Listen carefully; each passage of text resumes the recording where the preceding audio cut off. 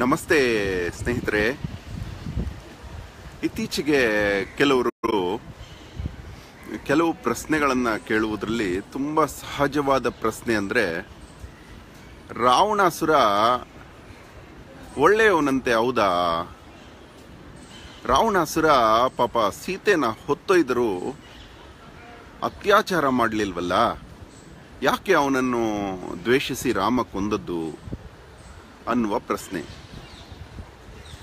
ಸ್ವಲ್ಪ ಈ ವಿಚಾರಕ್ಕೆ ನಾವು ಅಧ್ಯಯನ ಮಾಡೋಣ.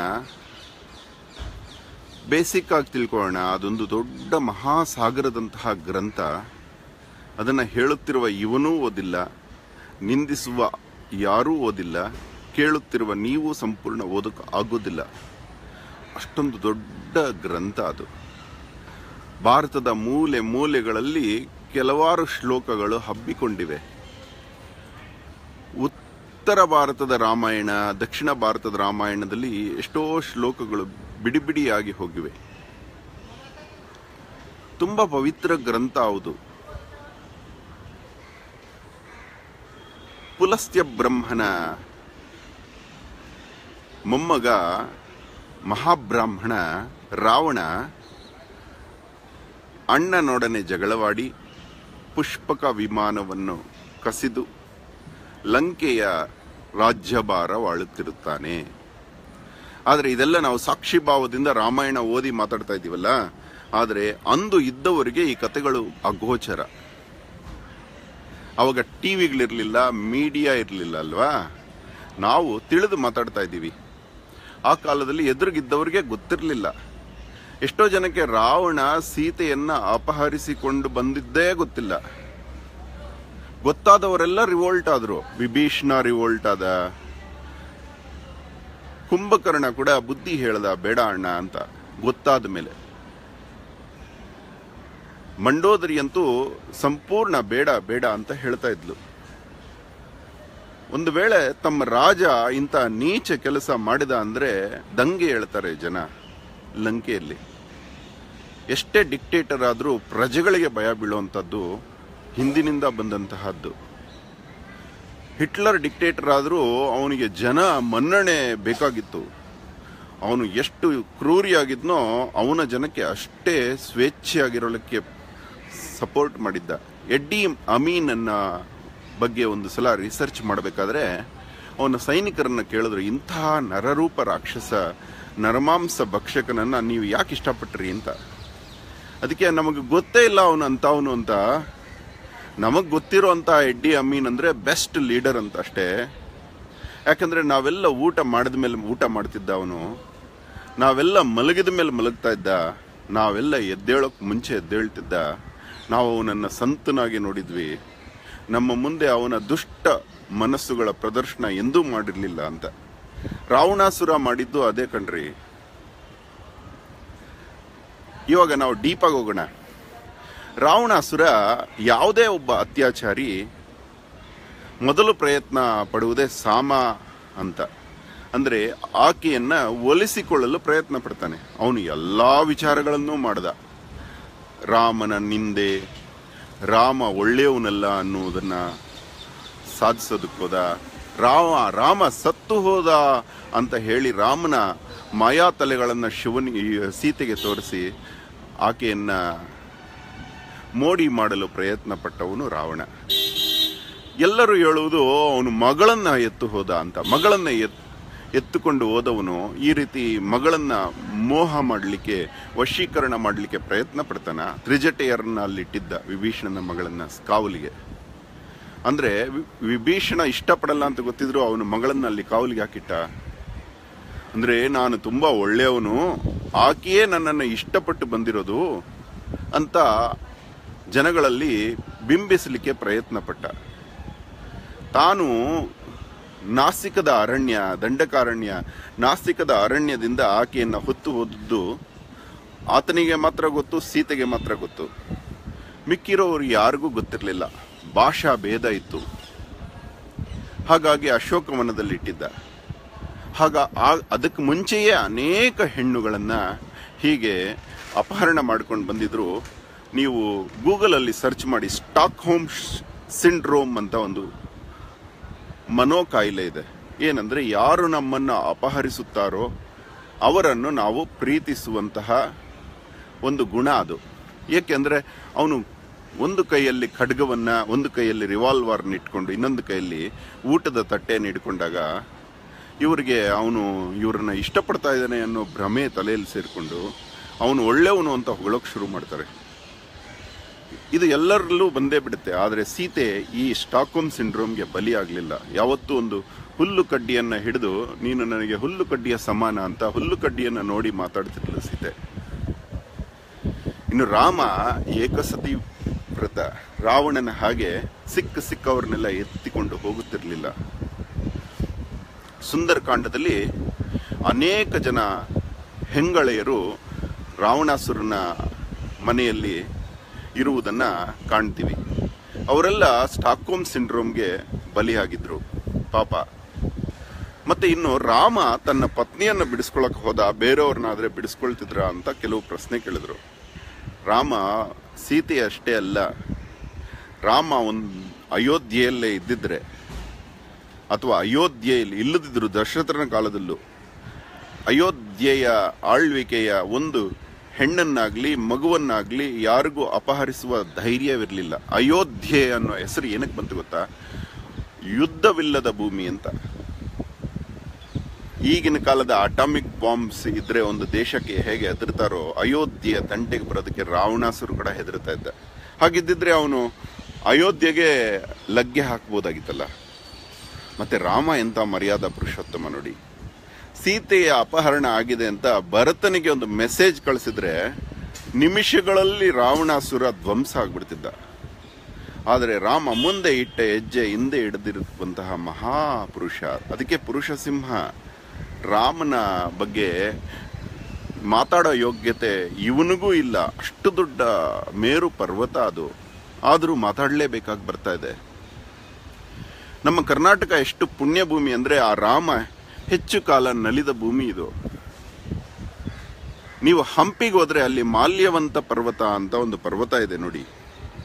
ಆ ಪರ್ವತದ ಮೇಲೆ ರಾಮ ನಾಲ್ಕು ತಿಂಗಳು ವರ್ಷಾಕಾಲವನ್ನ, ಚಾತುರ್ಮಾಸ್ಯವನ್ನ ಮಾಡ್ತಾರೆ. ಆ ಬೆಟ್ಟದ ಮೇಲೆ ಹೋದ್ರೆ ರಾಮನ ಘಮ ಇವತ್ತಿಗೂ ನಿಮಗೆ ಗೊತ್ತಾಗುತ್ತೆ. ಅಷ್ಟು ಪವಿತ್ರ. ಅಲ್ಲಿ ಸೀತೆ ಇರದೆ ರಾಮ ನಾಲ್ಕು ತಿಂಗಳು ಕಳೆದ ಕಾರಣ ಸುಗ್ರೀವನ ಮಾತು ಮರೆತು ಹೋಗಿದ್ದ.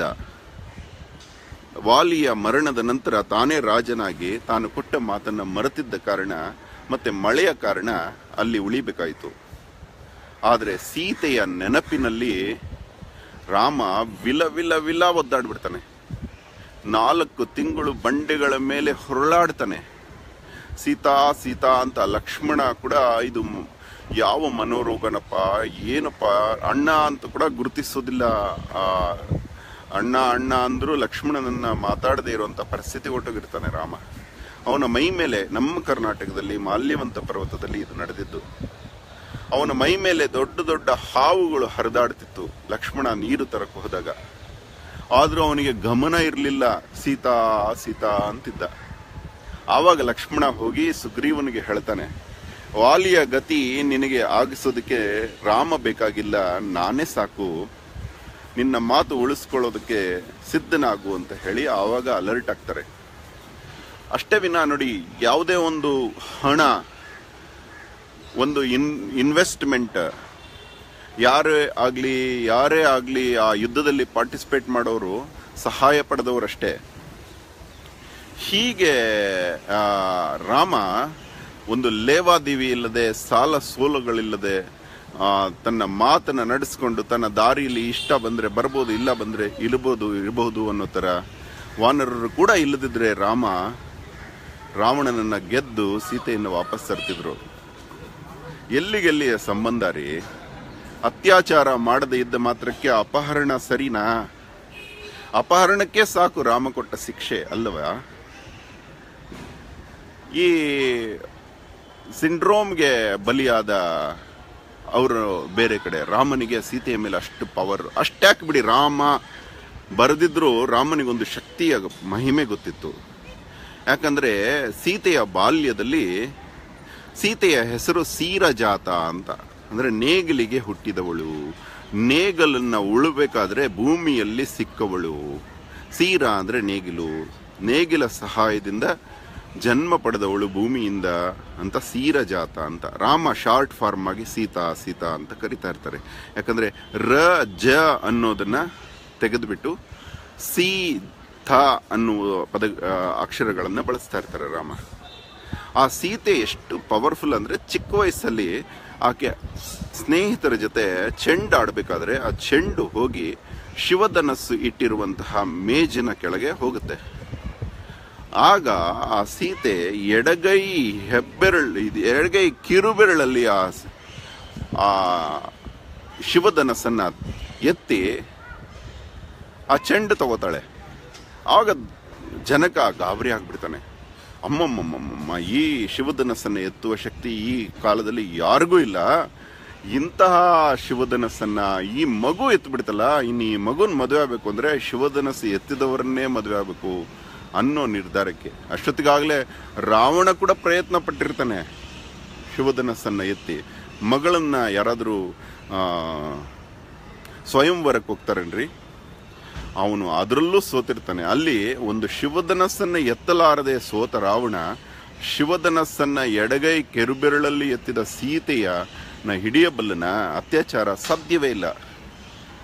ಆದರೆ ತನ್ನ ಪತಿ ಶಕ್ತಿವಂತ ತನ್ನನ್ನು ಬಿಡಿಸಿಕೊಂಡು ಹೋಗಬಲ್ಲ ಅನ್ನುವುದನ್ನು ತೋರಿಸುವುದಕ್ಕೆ ಪ್ರತಿಯೊಂದು ಹೆಣ್ಣಿಗೂ ತನ್ನ ಪತಿಯ ಬಲ ಪ್ರದರ್ಶನದ, ತನ್ನ ಪ್ರತಿ ತನ್ನನ್ನು ಎಷ್ಟು ಇಷ್ಟಪಡ್ತಾನೆ ಅನ್ನುವುದನ್ನು ತೋರಿಸುವ ಗುಣ ಇರುತ್ತೆ. ಅದು ಸಹಜ ಗುಣ ಅದು.